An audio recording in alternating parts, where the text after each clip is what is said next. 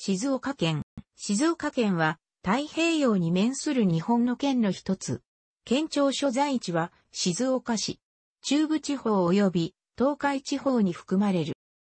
直線距離にて、県域の東西が 155km、南北に 118km と広大な県域を保つ工房。旧両生国の伊豆国のほとんど、駿河国、東東海国のおよそ3国に相当する県である。地域によって住民の意識、方言、文化面に大きな違いが見られる。県を代表するシンボルとして、富士山や伊豆半島、駿河湾、お前崎といったものが挙げられ、県旗もそれらに基づいてデザインされている。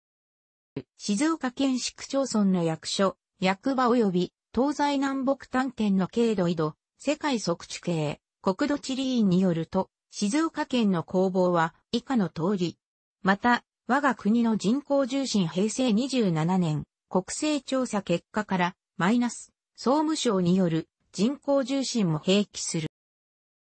北部には標高3000メートルを超える峰もある赤石山脈の山々がそびえ、一級水系の大井川や安倍川の源流となる。東部には第4期火山が多く、富士山や箱根山、伊豆東部火山群が現在でも活動しており、すでに活動を終えた天城山やだるま火山等の数々の大型火山が伊豆半島の大地を作り上げた。この伊豆半島は本州の中で唯一フィリピン海プレート上にあり、プレート境界である駿河トラフの延長線上に富士山が形成されている。南西部には大地や平野が多くなる。県の中央には糸魚川静岡構造線が南北に走り、安倍川がその南端にあたる。したがって地質構造はこの安倍川を境にして県の東西で全く異なる。静岡県の形は金魚に例えられることがあり、この場合、西部を頭、東部をに見立てる。全域が太平洋側気候であるが、標高差が大きいため地域による寒暖の差が激しい。冬の平野部や沿岸部は黒潮の影響で本州の中でも非常に温暖であり、寒気の影響を受けにくいために放射冷却によって朝晩は氷点下まで下がることがあっても日中は摂氏10度を超えることがほとんどである。特に伊豆地方の沿岸部では氷点下まで下がることはなく、雪が降ることもほとんどないなど、南九州並みに温暖な気候である。一方、旧井川村と旧三作母町などの赤石山脈に接する北部山間部は中高地式気候の影響も受けており、冬は雪が多く豪雪地帯である。また、東部内陸部の御殿場市などでも南岸低気圧によりかなりの積雪をもたらし、東北地方並みのかなり厳しい冷え込みになる子が多い。その他、裾野市にあるスキー場、スノータウンイエティは20年連続で日本一早いオープンを飾っている。夏は天竜地域など西部内陸ではかなりの酷暑となるが、それ以外の地域ではそれほどの酷暑とはならず、東部や伊豆地方を中心に比較的冷涼である。欠片の気候区分によると、県域の大部分は温暖湿潤気候ではあるが、富士山は最暖月の平均気温が摂氏6度しかなく、ツンドラ気候に相当している。名目上の行政区分で、東日本、中部地方、東海地方、広域関東圏などに区分されている。また、名古屋県や関東地方からも独立した地域として、静岡、県地方とされるケースも存在する。しかし、糸魚川静岡構造線を挟んで東側と西側に広い面積を占めているため、行政やその他諸々の区分では、西日本に分類される場合もあり、またこれらとは違う区分に属することもある。企業、団体によるが、1、静岡県全域を愛知県西部などと一緒で、東海や中部に入れるところもあれば、2、静岡県全域を広域関東圏、もしくは南関東に入れるところもあり、さらには、3、静岡県全域で東海するところや、4、特定の川で静岡県を分割するところもあるなど、エリア区分はそれぞれ異なる。企業、団体のエリア区分は、それぞれの監督官庁のエリア区分を反映しているものが多いが、基本的に静岡県が地域分類される場合、大まかに分けて次の4分類のいずれかが見られる。静岡県をめぐる同州制の区割り案について、地方制度調査会は、旧同州案では、中部州、11同州案や13同州案では、東海州に含まれるとしている。また、国土交通省の広域地方計画では、静岡県は中部県に含まれるとしている。ただ東部では国政への発言力増大のため、静岡県東部政令指定都市構想が出される、東動きが活発であり、今後の動向が注目される。なお、静岡県は、北陸3県、福井県、石川県、富山県と同等の面積を有する。静岡県は、富士川と牧之原大地を境として、東部、中部、西部の3地域に区分される。東部はさらに競技の東部と伊豆に分けることもある。ただ富士川より西にあり、中部であった旧富士川町が2008年、平成20年11月の富士市に編入されたことで、富士川による境は実質なくなってしまい、県庁による地域区分でも必ずしも川が境界線は限らない場合がある。静岡県内には以下の23市5郡12町がある。村は旧達山村が浜松市と合併したことにより2005年、平成17年6月30日をもって消滅した。町の読み方は森町のみ、町で、その他は町。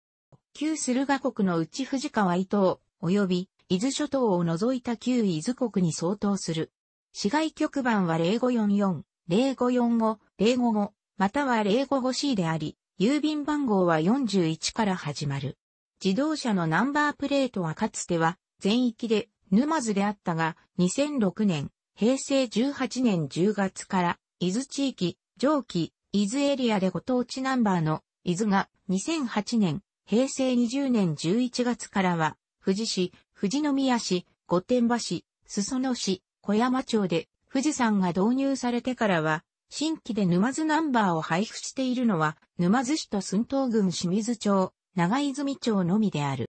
旧駿河国の内富士川伊勢と、旧東東海国の内牧の原大地と、現灰原郡域に相当する。市外局番は054、または 054C であり、郵便番号は42から始まる。自動車のナンバープレートは静岡である。現灰原郡域を除く旧東東海国に相当する。現在は遠州と言われている。市外局番は053、または 053C であり、郵便番号は43から始まる。自動車のナンバープレートは浜松である。ただし例外がある。浜松市南部、湖西市を西園として、浜松市北部を北園、岩田市、袋井市、掛川市南西部、森町を中園、掛川市、菊川市、お前崎市を東園、中園と東園を合わせて中東園と区分することがある。各地域ごとの歴史は、伊豆国、駿河国、東東海国を参照すること。1960年、昭和35年から1962年、昭和37年に静岡県西部の浜北市根形、現浜松市浜北区根形において人骨が発見されたが、2002年、平成14年9月になって、旧石器時代の約1万4000年前に遺棄していた浜北人の人骨であると、科学的な測定法で確認された。浜北人骨は20歳代の女性で、身長143センチと考えられている。人骨の発見以来、県内での調査例が増加し、今では200カ所近くに達している。場所は、天竜川左岸の岩田原第一生誕一帯、沼津市の背後の足高山南六、箱根山西六の3カ所に密集している。縄文時代の遺跡総数は約2000カ所を超える。縄文創創期の遺跡は少ないが、伊豆の国市山腹の中道 A 遺跡で土器が出土している。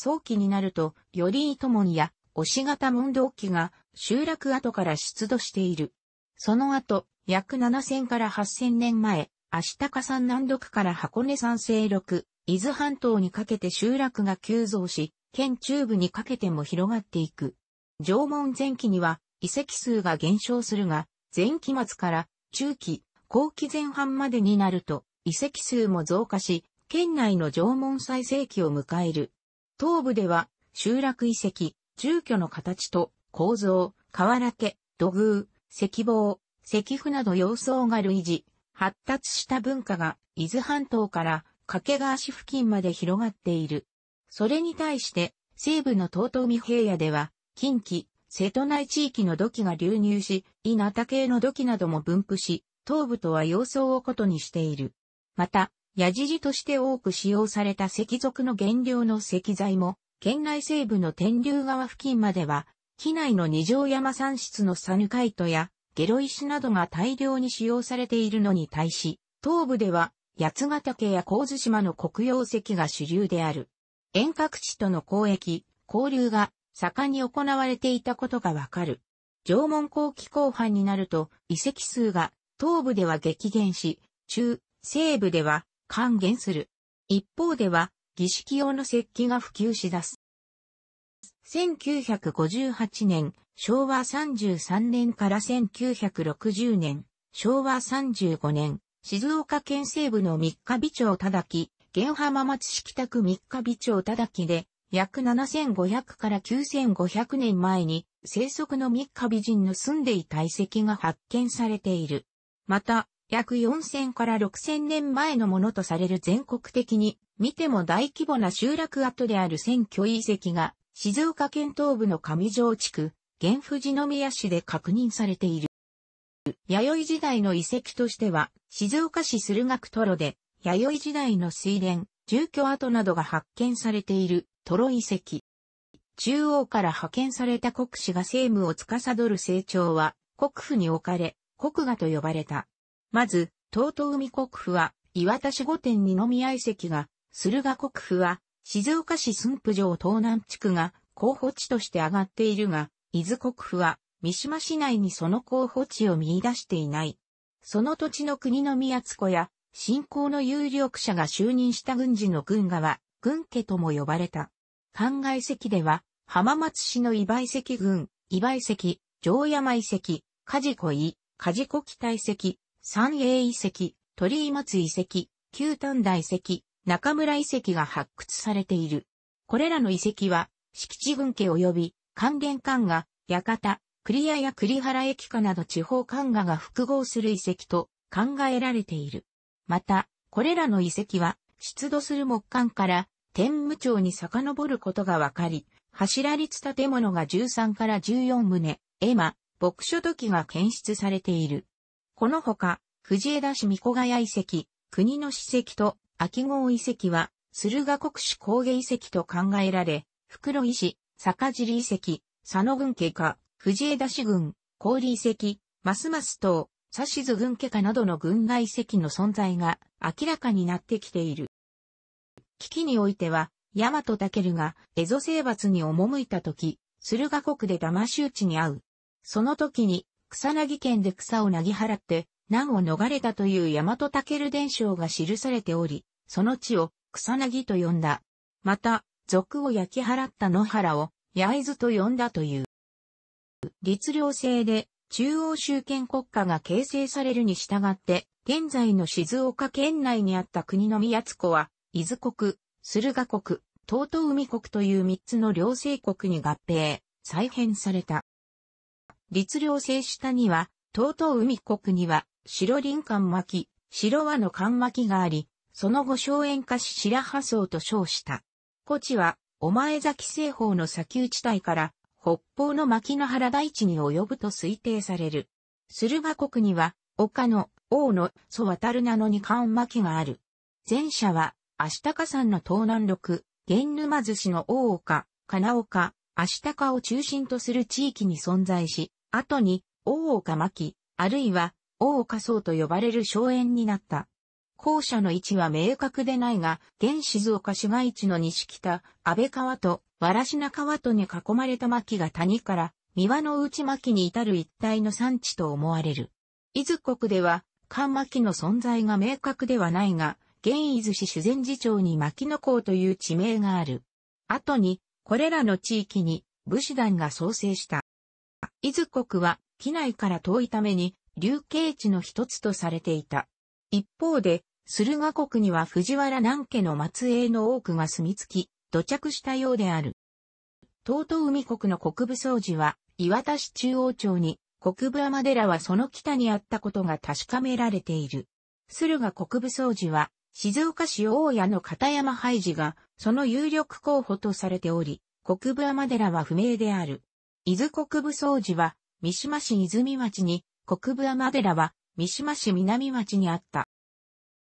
平治元年、1159年、平の清盛に敗退した源義朝は東国に敗退する最中に暴殺され、議長さん男の源頼朝は平家法に捕らえられるが除名され、伊豆国ニラ山、ニラ山町に流刑された。豆春伊豆三国はいずれも平家の勢力圏であったが、頼朝は伊豆において在庁肝心北条氏の所流北条次世の娘、政子を室として婿になり、伊豆の半平家方の武士たちから指示を受けると自称4年、118年には、持ち人王の平家討伐領事に応じて挙兵する、自称、樹営の乱。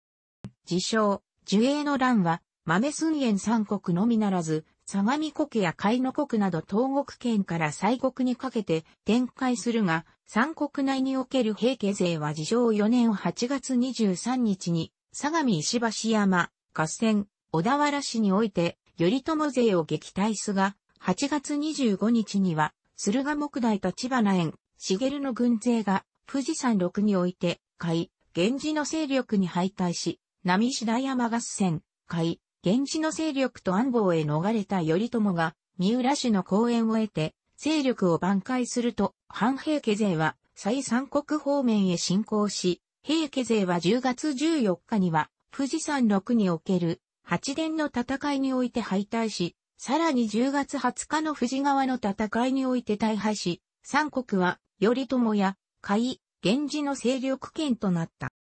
頼朝が鎌倉幕府を回復すると三国の所領も恩賞として御家人に安堵された。伊豆は北条氏が守護となったが、自称、樹営の乱においては特に、海源氏の功績が大きく、駿河は武田信義、東都海は安田義貞が守護となったが、頼朝は海、源氏の粛清を行い、三国は北条氏の影響下に置かれた。蘇我物語によれば研究4年、1193年5月15日には、富士の巻狩りが行わ、5月28日には、蘇我の仇討ちが発生する。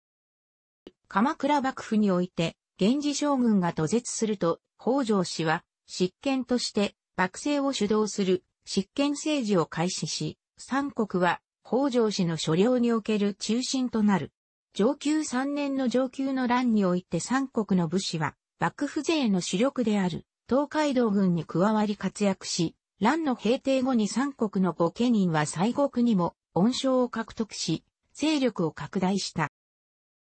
頼朝や北条氏は自社を信仰し、三国においても頼朝の信仰した伊豆山の神社や北条氏の宇治寺である願い成就院など幕府にゆかりのある寺院が分布している。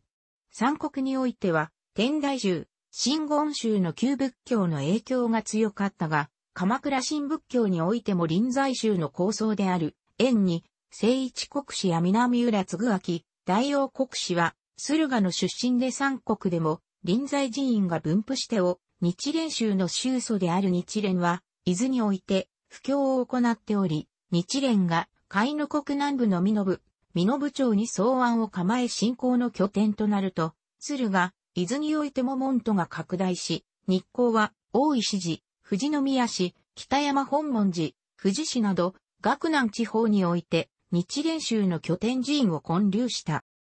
南北朝時代に入ると、今川氏が守護大名として、駿河国府中、駿府に入った。14世紀後半に入ると、今川氏は、東都海国の守護職も兼ねて、勢力を伸長する。戦国期には、今川氏近は、伊勢総意、北条総雲らの力によって、一族の構想を終わらせ、戦国大名への道を歩んだ。また、応仁の乱の後に、散逸した貴族たちが多く登竜した。一方の北条総雲は、伊豆国の堀越久保を攻め滅ぼし、それを足がかりに関東の支配へ乗り出す。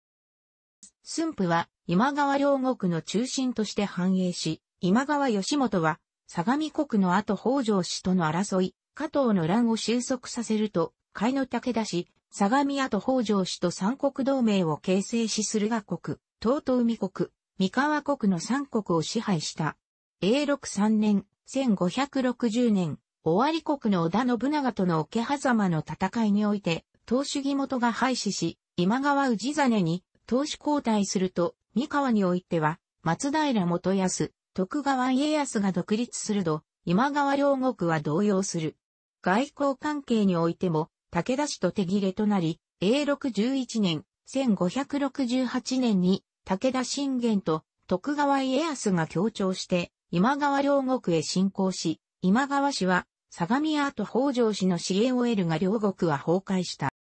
その後は、武田信玄と徳川家康は、今川両国の活情をめぐり対立し、さらに、徳川氏と協調した武田氏に敵対する後北条氏や、越後上杉氏、徳川氏と同盟関係にありつつ、武田氏とも友好的関係を持ち将軍義明要する尾張の織田信長など旧今川両国をめぐる情勢は複雑に推移するが、元気年間に武田氏は駿河を確保すると、後北条氏との同盟も回復する。その後、武田氏は矛先を、東東海、三河方面に向け家康や信長と対決し、機内情勢にも影響を及ぼしたが、正常作戦、元気4年には信玄が死去し自体は一旦収束する。信玄の死後、信長は、機内において政権を確立し家康も、岡崎から浜松に4どころを移し勢力を回復し、武田氏では勝頼に、投資交代すると再進行を繰り返すが、天正3年の三河において、織田、徳川勢が武田勢致命的打撃を与えた長篠の戦いと天正9年の高天神城陥落を契機に、春元二国における武田氏の勢力は後退し、天正10年、1582年に武田氏は織田、徳川勢により滅ぼされた。同年、本能寺の変において信長が応しし、旧武田両国が空域化すると家康は、本国の三河、東都海のみならず、武田医療である海、信濃国、駿河を確保し、天正神後の乱、五国を支配し東国における一大勢力に成長した。豊臣秀吉が後北条氏を滅ぼすと、1590年には家康は駿府から江戸に移され、代わって駿府には中村和氏が入り、東東海国には掛川に山内和豊や堀尾義治が入り、それぞれ織田家の家臣が入った。1603年、徳川家康が江戸幕府を開くと後継者の徳川秀忠に将軍職を譲り、家康は駿府において大御所政治を敷いた。江戸時代の伊豆国、駿河国、東都海国の三国、以下、豆寸園三国と略称には、幕府直轄領や不大大名の藩領、旗本領が入り組んでおり、伊豆国には、韮山の大官江川太郎左衛門、駿河国には、沼津藩の水野では守る、田中藩の本田木神、小島藩の滝脇丹後神、東東海国には、相良藩の田沼玄馬等、横須賀藩の西尾和江等、浜松藩の井、上郷地守る、掛川藩の太田宗次郎、堀江藩の大沢右京太夫といった具合に、領主支配は複雑に変遷している。近世には、江戸日本橋から京都に至る東海道の宿場が整備されるが、豆寸園三国には53の宿場のうち22宿が存在し、各地に宿場町が成立した。東海道は、西国諸大名の参勤交代や朝鮮通信使、琉球施設も通行し、新居関所、今切関所は、箱根関所と並ぶ重要な関所として知られ、大井川では川越制度が整えられ、大井川徒歩が行われた。近世には神殿開発が行われ、米麦や畑作物の生産が増大したほか、茶や椎茸、わさびなどの特産物の生産も行われる。また、伊豆や駿河では、金銀山での採掘が行われたほか、豆寸園山国では、林業が行われ幕府のお囃子も設置されていた。近世後期には、天明の大飢饉、天保の大飢饉などに際して、豆寸園三国でも、凶作や飢饉の被害を受け、豪祖や打ち壊し、百姓一揆が発生しており、明和元年、1764年の駿河小島藩の総百姓一揆、天明三年、1783年の駿河三栗や一揆、天明六年の東東三火災、二股騒動、文化十三年の美木騒動などが発生している。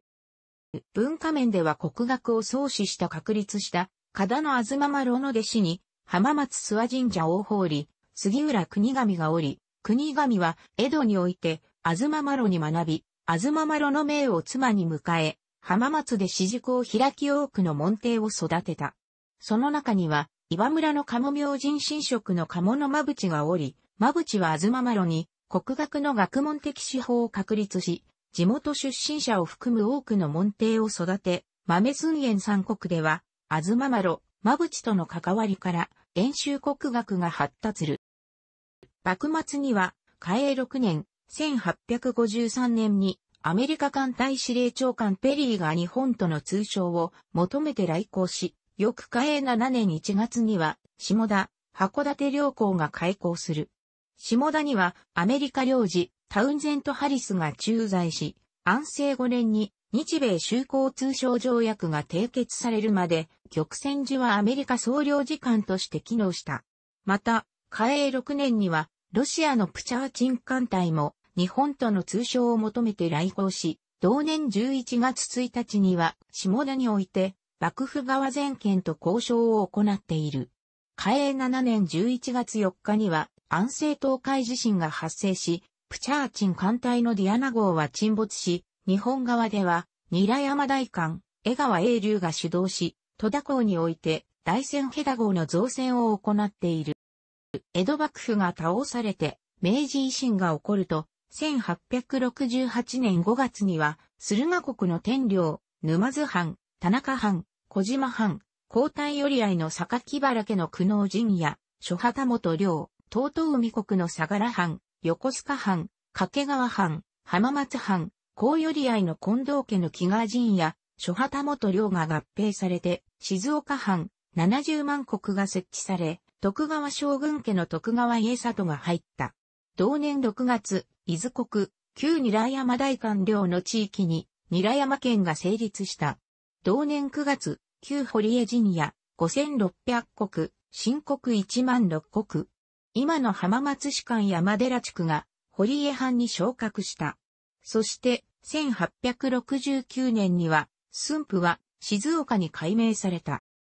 1871年8月29日の廃藩置県では、静岡藩は静岡県に置き換わり、堀江藩が堀江県に置き換わった。同年12月31日には、当時の静岡県は分割され、駿河国部分が静岡県となり、東東海国部分は浜松県となった。堀江県は浜松県に編入された。韮山県は、荻野山中県や小田原県と合併して、足柄県となった。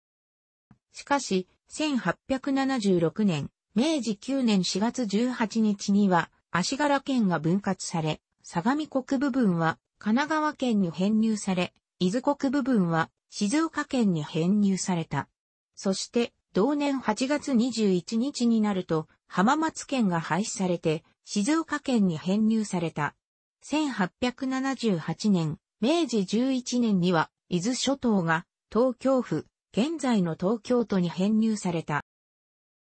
このように、伊豆国、駿河国、東東海国の三国が1876年、明治9年に行われた県の合併によって、現在の静岡県となった。総務省が定義する大都市圏として、静岡、浜松大都市圏を有する。国土交通省が定義する都市雇用圏では、以下の都市圏を有する。静岡県は、住んでよし、働いてよし、訪れてよしの富国ウ徳の日本の理想号を作るための施策に取り組んでいる。富国ウ徳は前知事、石川義信の県政キャッチコピー、富国徳津岡の挑戦にも現れるが、これは、現知事、川勝平太の表した富国徳論、1995の思想に賛同したもの。国際米年の2004年から米の購入量、購入金額日本一である静岡市でお米日本一コンテストイン静岡を毎年開催している。主催者全国お米祭り in 静岡実行委員会は静岡県庁米室内に置かれている。衆議院の小選挙区が8、参議院では全県で1区を構成。静岡県のイメージキャラクターは富士 P、2003年平成15年開催入、我が富士国体マスコットキャラクターである。ホンダや鈴木、ヤマハや河合といった日本屈指の企業発祥の地ということもあり、第二次産業の割合が高いが、緑茶やみかんに代表される農業や、マグロカツオ桜エビなどで有名な漁業、伊豆半島、赤石山脈、南アルプス、浜名湖などの観光等のサービス業も盛んである。富士川を境に、県の東部のみ 50Hz、ヘルツイコール、東京電力管轄。その他は 60Hz、中部電力管轄。新潟県の佐渡島、糸魚川市の一部や長野県の一部で、電源周波数が、県の大半とことにする地域があるもの、同一都道府県内で、電源周波数が、東西に大きく2分されるのは、本県のみであるため、電気の分野では、富士川がよく知られている。テレビ CM も東京電力と中部電力、両方が放送されている。浜松市北部の佐久間ダム近傍に、東西の電力を相互に融通するための佐久間周波、数変換所が、静岡市清水区の中部電力東清水変電所内に、同様の目的の東清水周波数変換装置、FC、フリークエンシーコンバーターがある。静岡県内では、静岡ガス系や都会系、中部ガス系、採算系を中心として、複数の業者が地域を分けてガス事業を行っている。静岡県内の主な一般ガス事業者は次の通り。東海道の沿線として古くから関東地方と近畿地方とを結ぶ大動脈が整備されてきた。特に浜名湖畔は首都圏、東京、鎌倉都機内、大阪、京都、奈良から遠距離に位置している。伊東線全線と東海道本線、在来線熱海駅は、東日本旅客鉄道、JR 東日本の管轄。他の JR 線は、東海旅客鉄道、JR 東海の管轄。